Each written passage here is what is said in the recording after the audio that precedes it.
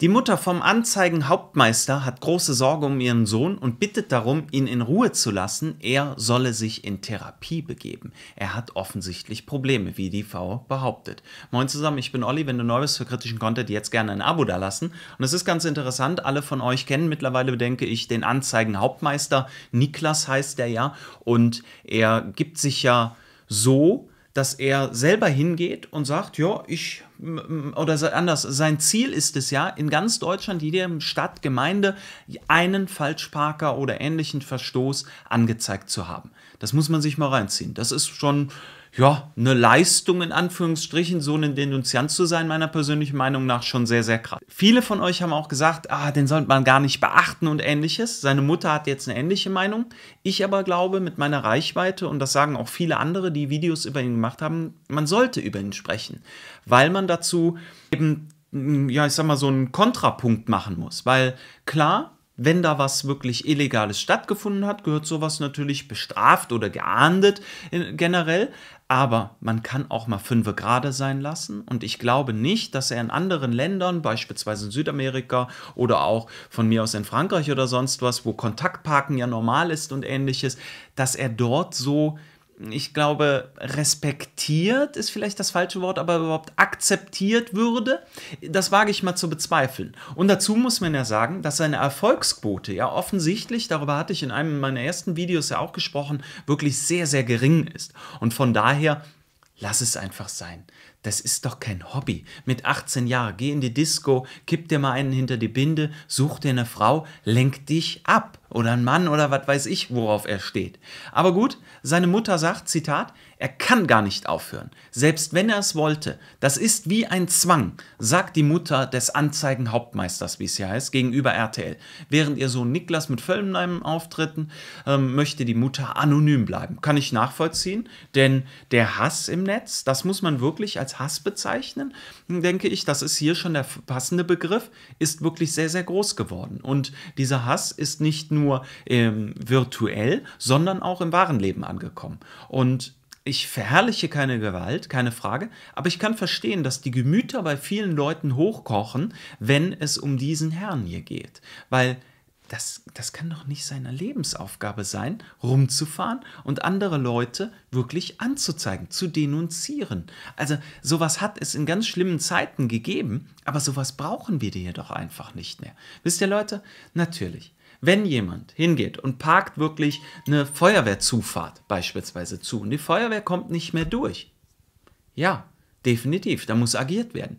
Da frage ich direkt mal, wo war denn der ähm, Anzeigenhauptmeister bei den Klimaklebern? Bei den Klimaklebern hätte er doch aktiv werden können. Die haben doch auch nachweislich oftmals die Rettungseinsatzkräfte so behindert, dass sie eben nicht zum Unfallort weiter vordringen konnten. Vielleicht hätte er ja da mal den einen oder anderen aufschreiben können. Vielleicht wäre da was Besseres gelaufen. Ich weiß es nicht. Die Mutter ist auf jeden Fall verständlicherweise um ihr Kind in großer Angst. Ich habe Angst, dass sie ihn totschlagen, heißt ihr. Eine große Sorge, ich habe Angst, dass ihn totschlagen, weil er gar nicht mitkriegt, was er da anrichtet. Zusammenschlagen wurde er bereits, hatte ich darüber berichtet. Und die Aufmerksamkeit hat weitere ungeahnte Folgen, wie die Mutter schildert. Wir hatten Code im Briefkasten. Zudem sei ihr Kellerschloss bereits zerstört worden. Und die Familie erhält Hass Hassnachrichten und Morddrohungen. Auch unerwünschte Pakete und Kataloge, die Hater, so genannt, im Namen des Anzeigenhauptmeisters bestellen würden, landeten oft dort, wie es hier heißt. Und das erinnert mich in Teilen, nicht komplett, aber in Teilen auch die Reaktion von dem Niklas an den Drachenlord. Rainer mit AI, ganz wichtig, Winkler. Ne, werden einige von euch kennen. Und wenn er sich dann auch noch so vollkommen überzeugt von dem, was er tut, hinstellt und sagt, Zitat, ich bin da eiskalt, egal was passiert, das fördert doch nur die Situation, in der er gerade ist. Das wird das Ganze doch nur noch mehr antreiben, sodass man schon vom Anzeigenhauptmeister Game in verschiedenen Kreisen spricht, wie ich gelesen habe. Und dann lässt er sich auch teilweise feiern, wie hier zum Beispiel, kommt er an einem Bahnhof in Coburg an, macht da seine Anzeigen und die ganzen Jungs hier, die ganzen Kandidaten, machen Selfies und er genießt das offensichtlich, so empfinde ich das, und nimmt ein Bad in der Menge, um es mal böse so auszudrücken. Leute, Leute, Leute, das wird noch weiter eskalieren. Richtig extrem.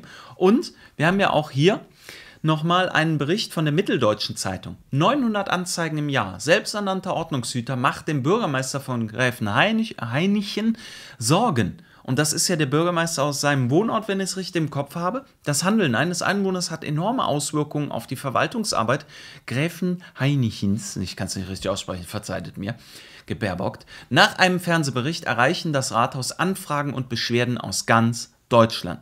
Und das ist die Konsequenz. Also von wegen, da wird jetzt so viel für die Staatskasse übergemacht und getan. So viele Anzeigen, hat der Bürgermeister auch gesagt, verlaufen da im Sande und bringen einfach gar nichts. Und dementsprechend ganz große Schwierigkeit. Und egal, wo der Anzeigenhauptmeister auftaucht, Überall gibt es Probleme. Beispielsweise hier ist er auch noch in Bamberg angekommen. Großer Wirbel um den Anzeigenhauptmeister in Bamberg, wie es hier heißt. Ebenfalls große Problematiken.